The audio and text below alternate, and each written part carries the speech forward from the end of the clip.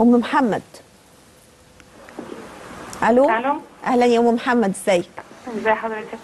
الحمد أنا كنت عايزة لله أسأل بس الشيخ في حاجة. اتفضلي. بس يا ريت ما يقطعش يعني ما تقطعوش السكة ولا الشيخ طب قولي بس مني. على حسب. ليه طيب ما أنا الظن من. أولها كده. أنا. اتجوزت من خمس سنين. ها. آه اللي أنا اتجوزته ده هو ما كانش بيحبني. ما كانش إيه؟ بيحبني. ها. يعني ما يعرفنيش هو متجوز. أنا رحت سحرت له. إن أفرق بينه وبين مراته. رحتي رحتي سحرتي له؟ آه. وفعلا فرقت بينه وبين مراته. هو ما طلقهاش بس ما ما بقاش عايزها ما بقاش عايز عياله. خربت له حياته بمعنى أصح وجالي واتجوزته وخلفت منه توأم. عندهم دلوقتي أربع سنين. آه لقيته من ست شهور كده هو مرة واحدة وهو بايت عندي من غير أي مقدمات. آه تاني يوم طلقني. رحت للي أنا يعني عملت له السحر عنده قال لي ده اتفك. طب أنا عايزة أجدده تاني. قال لي اتفك من عند ربنا مش هتعرفي تعمليه تاني. طيب ثانية هو واحدة. دلوقتي طلقني. انت قلتي له إن انت كنت عاملة له سحر؟ لا. هو ما كانش يعرف راحت آه انت رحتي للراجل اللي كان. عامل له سحر علوا لي الصوت بقى عشان أنا أول. مرة آه أول مرة تجي لي اللي بتعمل. السحر عندي. آه. خد آه. مني كان فلوس كتير قوي قوي قوي. إيه؟ كان يعني خد مني فلوس كتير قوي. آه. فقلت له اعمله لي تاني. قال لي خلاص هو اتفك من عند ربنا. فدلوقتي هو طلقني. آه. اداني حقوقي كاملة قوي. وبيصرف على عياله جامد قوي قوي. يعني كل اللي بيحتاجوه بيصرف عليهم فيه. مم. بس ما بيشوفهمش خالص مش عايز يشوفهم. لأن مراته اللي أنا أذيتها دي يعني ممكن تصوت في الشارع ممكن تعمل أي حاجة. يعني حياتها متدمرة هي وعيالها. بسببك؟ بسببي. مم. ناس دخلت فيه أنا كنت بعرف رجالة بس بالتليفونات كده ومقابلات. ده؟ يعني ما بعملش حاجة يعني.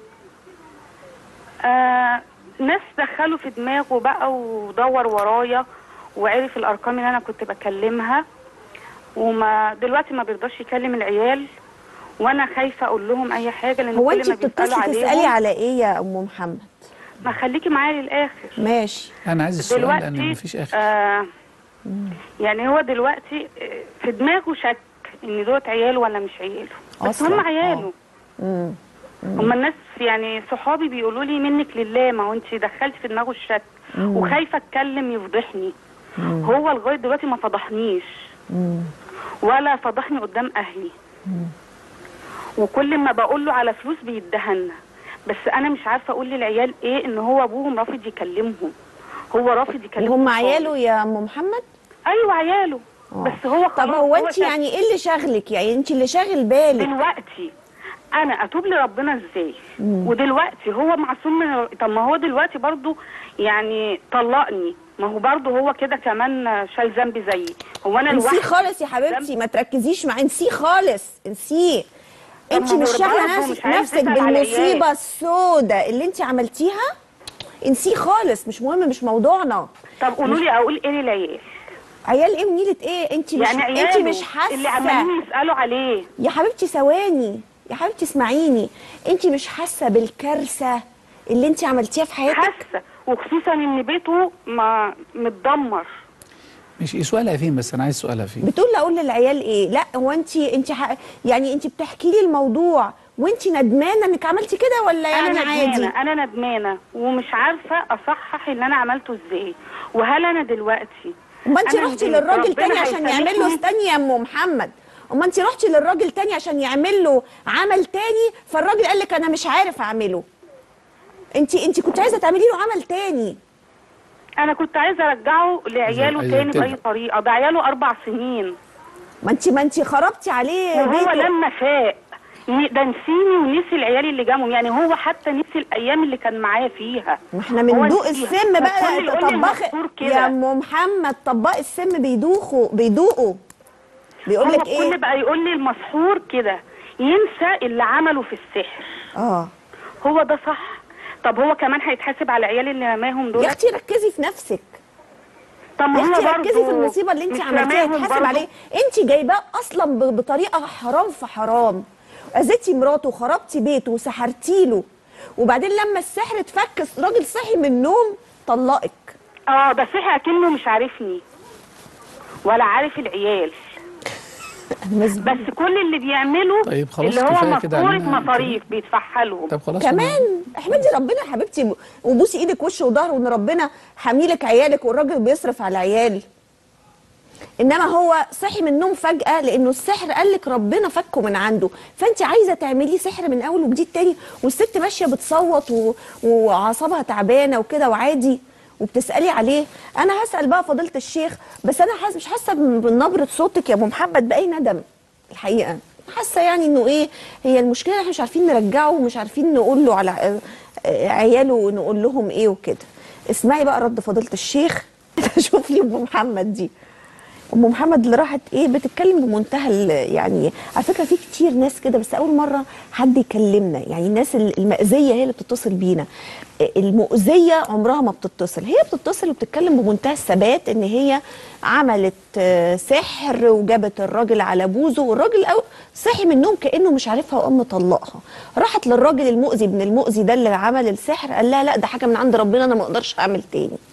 فقول لي بقى كده إيه هي طبعا بتسأل أسئلة طب أقول إيه؟ طب عايزه أرجعه تاني القصص دي. الأول آه، قد يعيش الإنسان في بيئة هذه البيئة قد تتصف بالجهل فيعيش الإنسان في وسط هذا الجهل فيظن أن الحق باطل والباطل حق. آه. يعني هي ممكن تكون عاشت في بيئة ما معينة. هذه البيئة المعينة خلتها تعتاد على أن مسألة أن تروح للساحر ده موضوع طبيعي.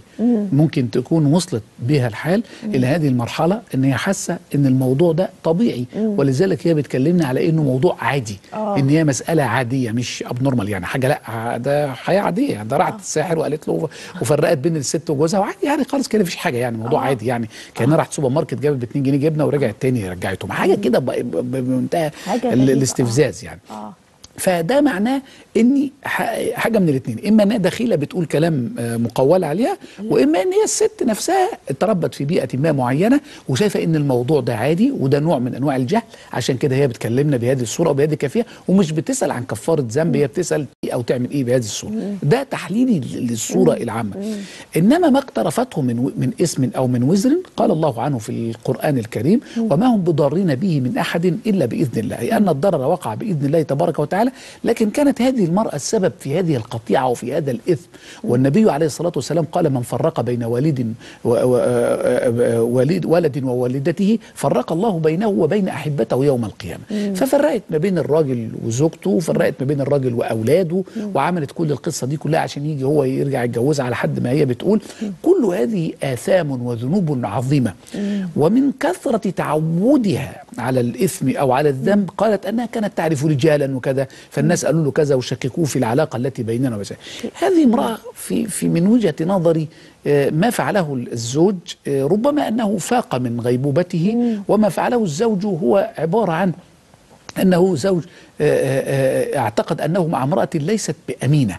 ليست بأمينة على اخلاقها ولا على عادي أنا كنت بتكلم عادي. آه هي علاقات عادية آه يعني هي ما فيش ترى حاجة. لا هي لا تقول مكالمات تليفونية بينها وبين الرجال بس ما بتعملش حاجة غلط. آه. ده اللي أنا فهمته من كلامها. آه، فيعني آه. معناه إن بتتكلم كلام بقى خارج يعني عن المألوف أو عن آه، شرع الله آه. سبحانه وتعالى أو ما مما لا يصح ولا ينبغي أصلا أن صحيح. يكون. يعني إن المرأة متزوجة وترجع تكلم رجل في أي نوع من أنواع الكلام هذا لا يصح أصلا ما ينبغي. يعني ده كلام مش مش لا محتاج يعني هي هي هي ال- ال- ال- اللي هي عملته ده السحر ال- السحر الأسود والسحر المنيل بنيلة اللي بيعملوه في الناس ده.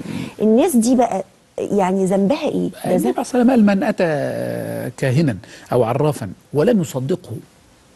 لم يصدقه يعني مش مقتنعش بيه لم يقبل الله منه أربعين يوما. طب و... طب إذا صدقه فقد كفر بما أنزل على محمد بالكتاب وبالسنة.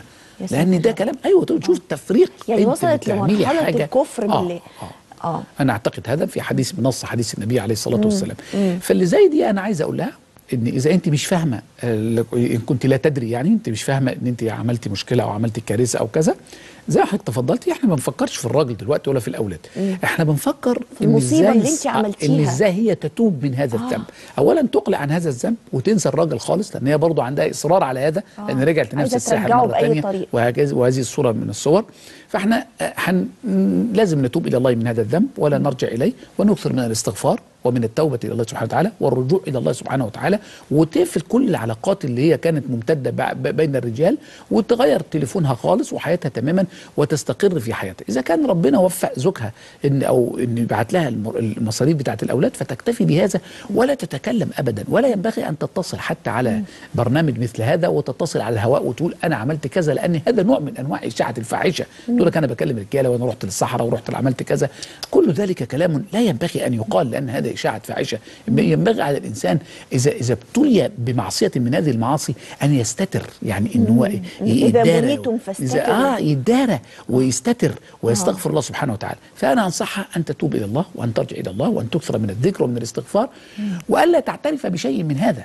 لأن لو اعترفت حتى لجوزها وقالت له ده أنا اللي خربت البيت وأنا اللي عملت كيت وكيت وكيت ممكن تقتل إيه يعني الموضوع كان فيه مشكلة كبيرة جدا. صحيح. ولو قالت لمرات آه، جو- آه، جوزها الأولانية لو قالت لا تقل كلاما مثل هذا وتقفل الكلام ده تسكت تماما بقى. وتظل في الذكر وفي الدعاء ربنا إن الراجل بيصرف إلى على اولاده إلى وإن شاء الله يبقى يرجع يشوف ولاده بعد كده.